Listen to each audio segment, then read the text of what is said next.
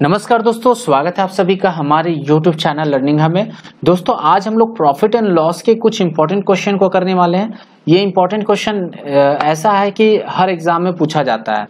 तो क्वेश्चन क्या है? एक रेडियो 16 परसेंट का लाभ पर बेचा गया। यदि उसे 10 परसेंट कम पर खरीदा गया होता और चौदह रुपये कम पर बेचा जाता तो 25 परसेंट का लाभ होता।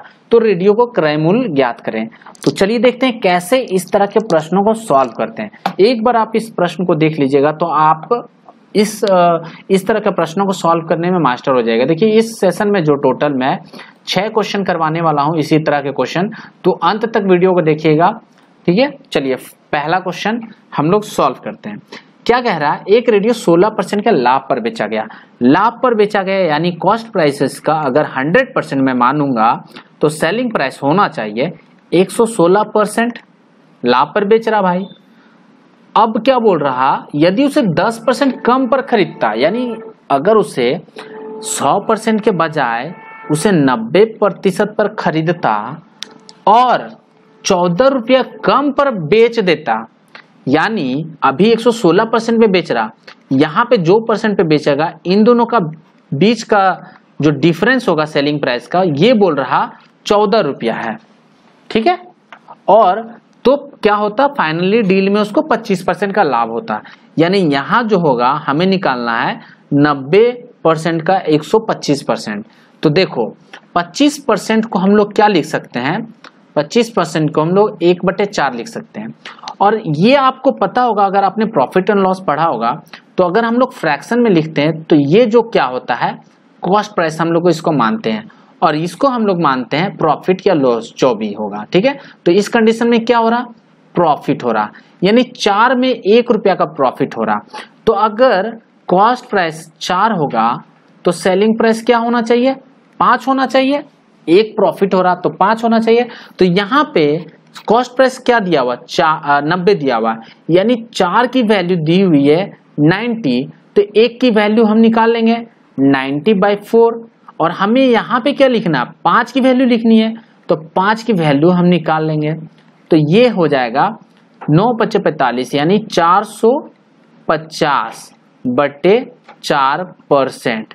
यहाँ पे आपको पता चल गया, अगर ये 100 परसेंट है तो 116 तो यहाँ से आसानी से निकालिए लेकिन यहाँ पे थोड़ा जो वैल्यू है वैल्यू के अकॉर्डिंग हम लोग को थोड़ा सा कैलकुलेशन करना पड़ा, लेकिन कोई दिक्कत नहीं। आगे जो मैं क्वेश्चन बताया, उसमें बहुत आसानी से हुआ कैलकुलेशन क्योंकि काफ़ी इजी वाला वैल्यू दिया हुआ था। तो ये आपको समझ में आ गया। ये अगर आपको नहीं समझ में आया तो आगे वाले क्वेश्चन में आपको आ, समझ में आ जाएगा। आप एक बार ध्यान से पहले देख लीजिएगा। उस तीन तीसरा चौथा नंबर का वीडियो क्वेश्चन जो देखिएगा ना उसमें बहुत अच्छे से समझ में आएगा। तो फ़िलहाल अभी हम लोग यहाँ तक पहुँच गए हैं। इसको इरेज करते हैं। ठीक है? तो अब क्या हो गया? देखो अब हमने क्या किया? कॉस्ट प्राइस पहला वाला का निकाला सेलिंग प्राइस निकाल लिया।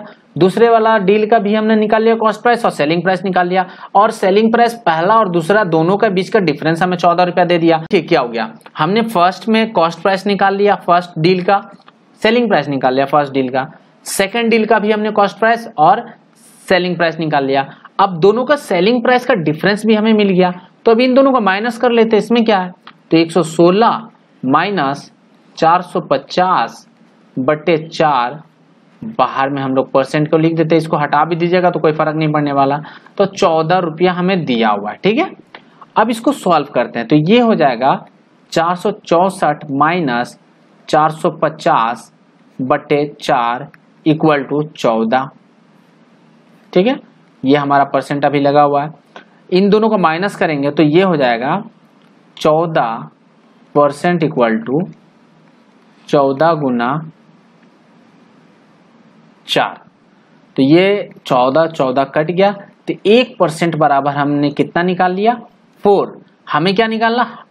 Hundred percent. हमें क्या पूछा? ये प्राइस रेडियो का क्रय मूल्य। तो क्रय मूल्य क्या होता है? Hundred percent. तो हंड्रेड परसेंट बराबर, हंड्रेड परसेंट बराबर फोर इंटू हंड्रेड। तो ये हमारा हो गया फोर हंड्रेड। तो फ़र्स्ट का आंसर हो जाएगा थ्री ऑप्शन नंबर थ्री चार सौ रुपया रेडियो का क्रय मूल्य था, ठीक है? चार सौ रुपया। इसको अगर आप लोग, इसको रिवर्स ऑर्डर में अगर फिक्स करना चाहे तो देखिए फिक्स कीजिए इसको।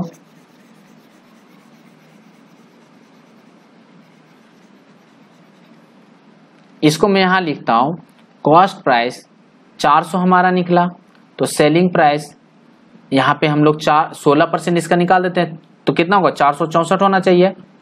ठीक है? सोलह परसेंट प्रॉफिट पे बेचा था ना फ़र्स्ट टाइम तो सोलह चौके चौसठ चौसठ रुपया का फ़ायदा हुआ था। तो चार सौ चौसठ रुपया सेलिंग प्राइस होना चाहिए। और अभी क्या बोल रहा है? इसका नब्बे परसेंट पे खरीदते अगर तो नौ चौके छत्तीस, यानी तीन सौ साठ रुपया में खरीदते अगर तो यहाँ पे क्या बोल रहा है कि चौदह रुपया कम पर बेचते हैं। अभी हम कितना पे बेच रहे हैं? चार सौ चौसठ पे।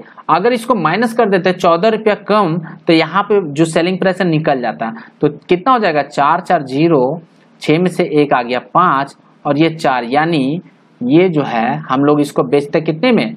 चार सौ पचास रुपया में अगर बेचते हैं तो चौदह रुपया का डिफरेंस आता है। यहीं पे चौदह रुपया का डिफरेंस यही तो दिया हुआ ये चौदह रुपया कम पे इन दोनों के बीच का सेलिंग प्राइस वन और सेलिंग प्राइस टू के। तो देखिए, कितना आसानी से ये हमने फिट किया तो आराम से निकल गया, ठीक है? तो अब अब आप ये बोल रहा है, पच्चीस परसेंट का प्रॉफिट हो रहा है। तो ये देखिए, तीन सौ साठ का अगर पच्चीस परसेंट एक सौ पच्चीस परसेंट निकालेंगे तो साढ़े चार सौ होगा। तो ये भी निकाल कर मैं दिखा देता हूँ, तीन सौ साठ गुना एक सौ पच्चीस परसेंट निकाल लीजिए आप। तो पच्चीस चौके सौ कट गया, पच्चीस पच्चे एक एक सौ पच्चीस, चार से चार नवे छत्तीस तो देखिए पाँच नवे पैंतालीस, यानी साढ़े चार सौ आंसर आ गया। तो या तो यहाँ से निकाल लीजिए साढ़े चार सौ, या यहाँ से इसमें से चौदह घटा के ये कर लीजिए, या इसी का डायरेक्ट एक सौ पच्चीस परसेंट निकालेंगे तो देखिए, पूरा फिट हो गया, आपको पूरा समझ में आ गया। तो दूसरा, तीसरा, चौथा, पांचवा, छठा, ये मैंने क्वेश्चन बनाया। आप इसको ध्यान से देखिए, आपको बहुत ही अच्छे से समझ में आने वाला है। और ये एक बार आपने समझ लिया तो आप एग्ज़ाम में जितना हल, ये इतना कॉम्प्लिकेटेड क्वेश्चन भी नहीं देगा वैल्यू थोड़ा इजी वाला देगा। तो एग्ज़ाम में आप थर्टी सेकेंड में आप बहुत अच्छे से स्कोर कर पाएँगे, इस तरह के प्रश्नों को। चलिए, दूसरा क्वेश्चन देखते हैं हम लोग। दूसरा क्वेश्चन देखेंगे आप तो आपको बहुत कंफ्यूजन आपका जो रहा। अगर पहला क्वेश्चन समझ में नहीं आया तो दूसरा क्वेश्चन देखने के बाद पूरा आप समझ जाएँगे और आने वाले क्वेश्चन जो है, चार क्वेश्चन सारा मुझे लगता है आप ही बनाएँगे, ठीक है? तो फिर से देखते हैं, रीना ने एक वस्तु 25 परसेंट लाभ पर बेची। बेची, इसका मतलब उसका कुछ कॉस्ट प्राइस होगा तो कॉस्ट प्राइस हम मानते हैं ऑलवेज हंड्रेड परसेंट तो सेलिंग प्राइस हो जाएगा हमारा वन परसेंट ठीक है? ये यहाँ तक कीजिए। यदि उसने 20 परसेंट अधिक पर खरीदी होती तो खरीदने की बात हो रही है तो ये वाला लाइन में हम लोग चेंज करेंगे। तो एक 100 परसेंट में खरीदी, अगर उसको बोल रहा कि 20 परसेंट अधिक पे, यानी 120 परसेंट पे खरीदी होती है तो उसे सात पूर्णांक एक बटे दो का लाभ होता, तथा दस रुपया अधिक में बेची होती, यानी बीस परसेंट एक तो अधिक में खरीदो और दस रुपया अधिक में बेचो। तो इतना लाभ होता।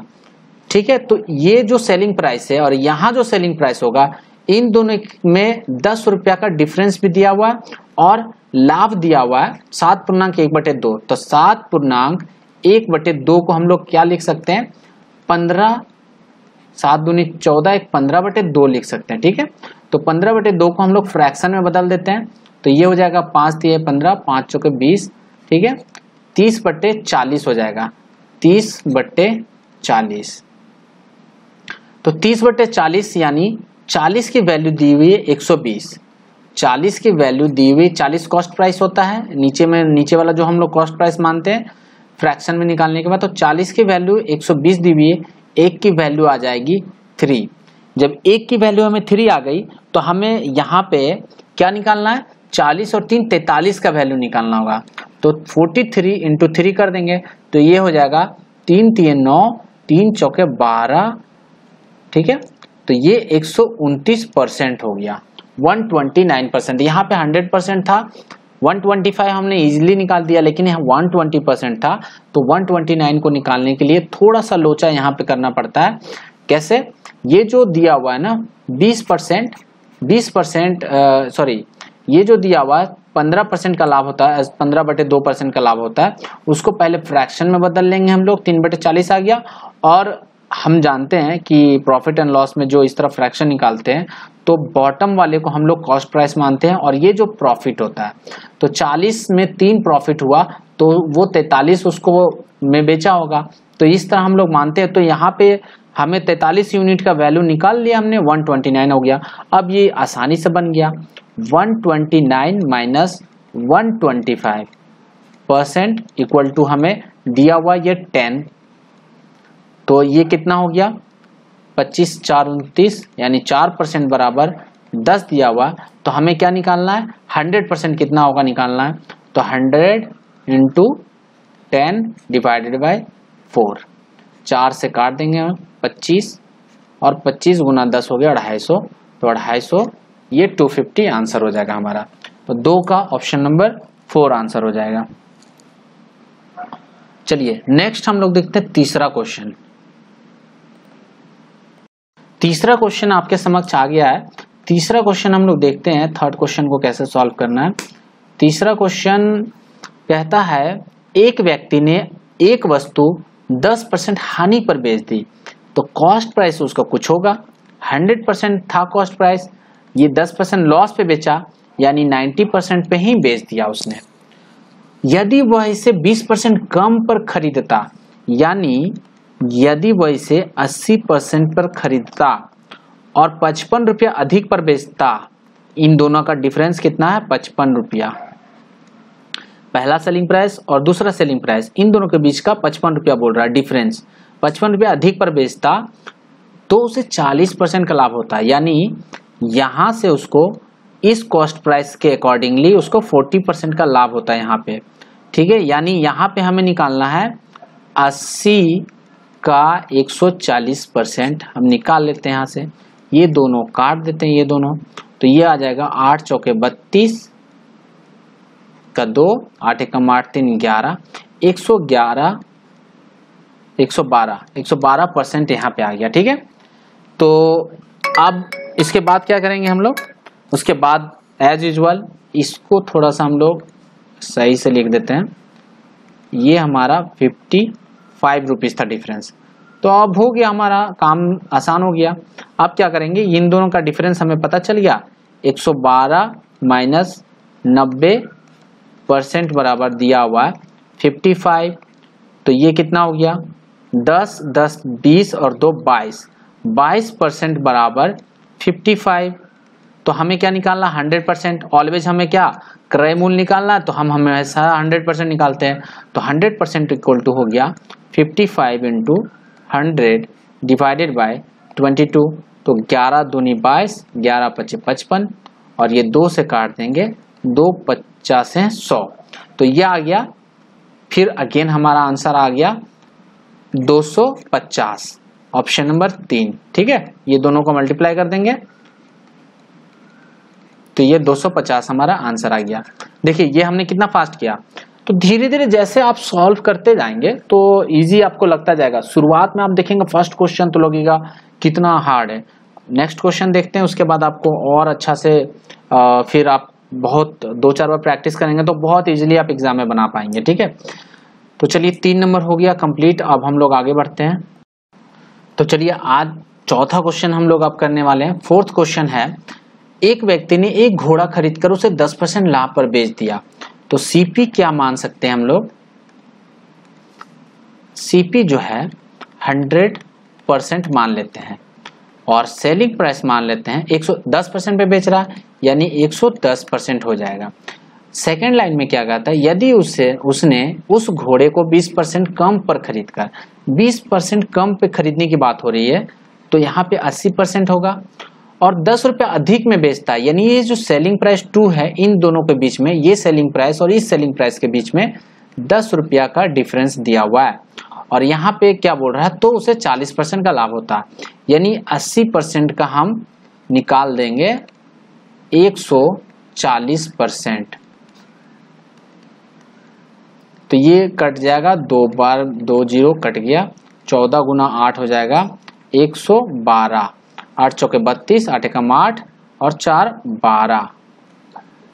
सॉरी, एक सौ बारह, ठीक है। तो यहाँ तक हम आ गए, एक सौ बारह परसेंट हो गया। अब इसके बाद जो लास्ट वीडियो में हमने जैसा किया था आसानी से, इन दोनों का डिफरेंस हमें मिल गया। एक सौ बारह परसेंट माइनस एक सौ दस परसेंट। बराबर दिया हुआ दस रुपीस तो ये कितना हो गया? दो परसेंट की वैल्यू आ गई दस रुपया तो हंड्रेड परसेंट की वैल्यू आ जाएगी इतना। तो दो पचे दस काट देते हैं, सौ गुना पाँच पाँच सौ तो ऑप्शन नंबर एक आंसर आ जाएगा, ठीक है? फाइव हंड्रेड रुपीज़ घोड़े का क्रय मूल्य कितना था? पाँच सौ रुपया था।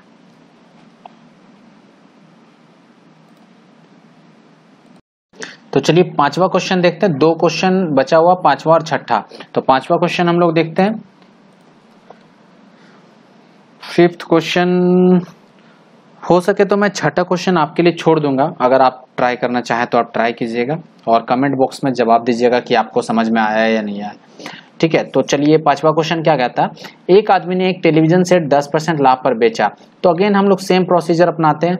कॉस्ट प्राइस को 100 परसेंट मानते हैं और सेलिंग प्राइस हमारा हो जाएगा 110 परसेंट हो जाएगा बेझिझक। यदि वह इसे 20 परसेंट कम पर खरीदता, यानी वो इसे अगर 80 परसेंट पे खरीदता और सौ रुपया अधिक मूल्य पे बेचता, यानी इन दोनों के बीच का डिफरेंस दे दिया सौ रुपया सेलिंग प्राइस वन और सेलिंग प्राइस टू के बीच का अंतर दिया सौ रुपया तो उसे चालीस परसेंट का लाभ होता। तो चालीस परसेंट का लाभ यानी अस्सी जो है, ये अस्सी परसेंट का हम लोग निकाल देंगे। एक सौ चालीस परसेंट। तो ये दोनों जो काट देंगे, चौदह अठी आ गया, आठ चौके बत्तीस, एक सौ बारह। एक सौ बारह परसेंट हो जाएगा, ठीक है? तो अब ये दोनों का डिफरेंस आ गया। इन दोनों का डिफरेंस हमें कितना पता चल गया? दो परसेंट। इसको मैं लिख ही देता हूँ यहाँ 112 माइनस एक सौ दस परसेंट बराबर सौ रुपया दिया हुआ है। तो हमें दो परसेंट बराबर निकल गया मेरा सौ रुपया तो hundred percent equal to hundred percent equal to इसको हंड्रेड से मल्टीप्लाई करेंगे और टू से डिवाइड कर देंगे। तो ये हमारा आ जाएगा पाँच हज़ार रुपया। ठीक है? तो पाँच हज़ार कहाँ देखते हैं? ऑप्शन नंबर तीन आंसर हो जाएगा। तो वेरी इजी क्वेश्चन है। तो देखिए पहला जो दो क्वेश्चन मैंने बताया था तो आपको लग रहा कितना हार्ड क्वेश्चन है। लेकिन अभी अभी मैंने जो तीन क्वेश्चन बताया मैंने तो कितना आसान लगा। बहुत आसान से बनेगा। एग्ज़ाम में कोई कंफ्यूजन नहीं होगा आपको, कोई गलती होने की संभावना नहीं रहेगी, काफ़ी इजी रहेगा।